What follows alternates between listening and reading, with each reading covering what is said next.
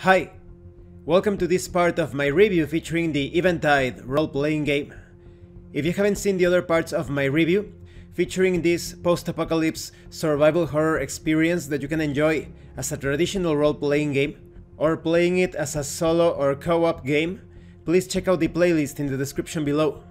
This time we are going to talk about the enemies, and don't worry, I am going to avoid spoilers. I will only give you a few details concerning these beasts of the wastelands, because that way you can still enjoy surprises, the unknown elements, the abilities that the enemies can use to attack you as you are playing it solo or co-op.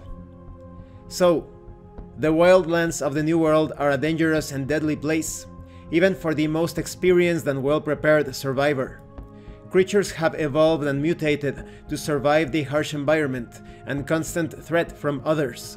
It is because of this that they aren't going to go down without a fight. Survival is key above all else, no matter the cost, and almost every fight is a fight to the death. There are innumerable creatures, both humanoid and not, which could cause a lot of trouble for the characters in Eventide. Each enemy is presented through a stat block, this is a list of the key characteristics and attributes of the enemy. The equipment that the characters have at their disposal, as well as the size of the group, makes this challenge rating a rough estimation. There's also combat skill. This is the enemy's skill level in terms of landing successful attacks. This is the number the players need to roll against to dodge attacks. Then we have health points. This is the amount of damage the enemy can take before succumbing to its injuries and dying. There's also defense. This is the number of successes required to successfully attack an enemy. This represents the enemy's maneuverability to evade attacks. Then we have attacks. These are the natural and unnatural weapons available to the enemy, as well as how much damage they do. Some of these attacks cause a condition. Conditions are usually triggered by a successful attack unless stated otherwise. If an enemy has multiple attacks available, the Game Master decides which attack is used each turn. Then we have description. Each enemy has a description section in their stat block, which covers their appearance, movements, tactics, and other information that the Game Master may find useful in setting the scene for the players. It will also contain information that the Game Master can use to help with role-playing the enemy. Now, let's talk about some of these enemies. We have baboons. They are wild and dangerous primates, known for traveling in large troops. They are often underestimated by wanderers, but this is a mistake. A group of baboons can easily overwhelm an adventurer who is unprepared. We also have behemoths. Behemoths are giant beasts that wander the wildlands. From a distance they appear human, but upon closer inspection, their massive hulking frames and engorged musculature very quickly set them apart. Often reaching heights of up to 3 meters, they are truly terrifying and deadly. Then we have blood bears. Blood bears are an evolved species of hyper-aggressive and dangerous bears. They stand 3 meters tall and wield massive claws, which can be devastating to an unprotected wanderer. We also have bloaters. The first thing most wanderers might notice about bloaters is the stench of infection and decay. They are the tragic result of some sort of horrible chemical attack, which left these former humans as rotting and swollen husks. They are weak and slow, but their spit is poisonous and will ensure a slow and painful death unless quickly treated. We also have cursed crabs. They live and breathe along the coastline. Through evolution, they have somehow managed to become immune to the effects of the waters of oblivion, making their shells a rare and valuable commodity. They are about 30 centimeters in size, with enlarged pincers that are razor sharp. Then we have dune rats. They are deformed rodents that inhabit many settlements across the island. They are filthy and feral, and are known to live and move in large swarming groups. We also have drones. These are flying attack robots, originally built by a tribe called the Gearheads. A glitch in their electronics caused a handful of these formidable mechanized killing machines to fly randomly across the island, attacking anything and everything that moves.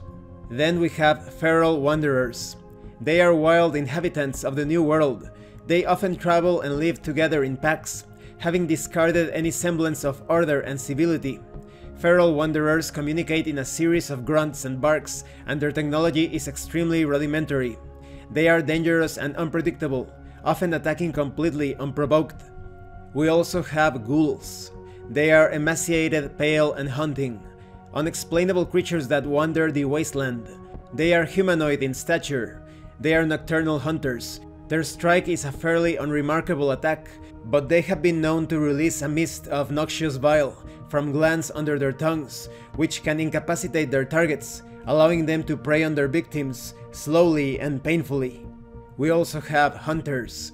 They are dangerous wanderers of the wilds, highly skilled at camouflage and striking their targets from a distance. Their expertise with a bow makes them the closest thing the wasteland has to a sniper, and often they will take out their targets before they can even get close enough to retaliate. And these are just some of the many enemies, or perhaps potential prey or allies depending on the situation. All of them have different special attacks. They are somewhat generic or universal. They feel at times like templates, and this is perfect for this role-playing game because you never know when you need to reskin a set of stats to represent a new creature or new enemy encounter depending on your campaign. You even have tips on how to do that here. The enemy system in Eventide is very clean and simple, and as such it is extremely straightforward for game masters of all experience levels to modify enemies to fit into the setting of their particular game. A very simple way to adjust on the fly would be to reskin these enemies. This means that the Game Master takes the stats of a similar antagonist from the list presented, but changes their name and description. And of course, their background, if needed. We also have information on creating new enemies, which is very simple. A Game Master may find that there are no enemies presented in this book that meet the exact criteria they are looking for. In such case, creating a new enemy from scratch may be the best option. Generating a stat block for enemies is very easy. You only need to name the enemy, assign a level, determine the health pool of the enemy, assign combat, list attacks, and describe the enemy, of course. So you could create enemies that poison the characters, or incapacitate them, or daze them, or blind them, etc. And this concludes this part of the review. As you can see, this is a great bestiary you have this selection of all sorts of beasts and humanoids to attack or interact with the group of adventurers depending on the situation, but you also have information on how to create new enemies or reskin these stated creatures. And I went through the setting information and compared it to the list of enemies or non-player characters included in this bestiary, and I think all of the bases are covered. Maybe in a few very specific scenarios, then you will have to reskin or create new enemies. But for most of the time, you're going to be using these enemies straight from the list, from the bestiary, and that's great. Well, thank you for watching this part of the review. If you have any comments or questions, please let me know. And thank you so much to those of you that have been supporting the channel by sending DriveThruRPG gift certificates. If anyone else wants to further support the channel, the information on how to do that will be in the description below. Once again, Thank you, and see you later.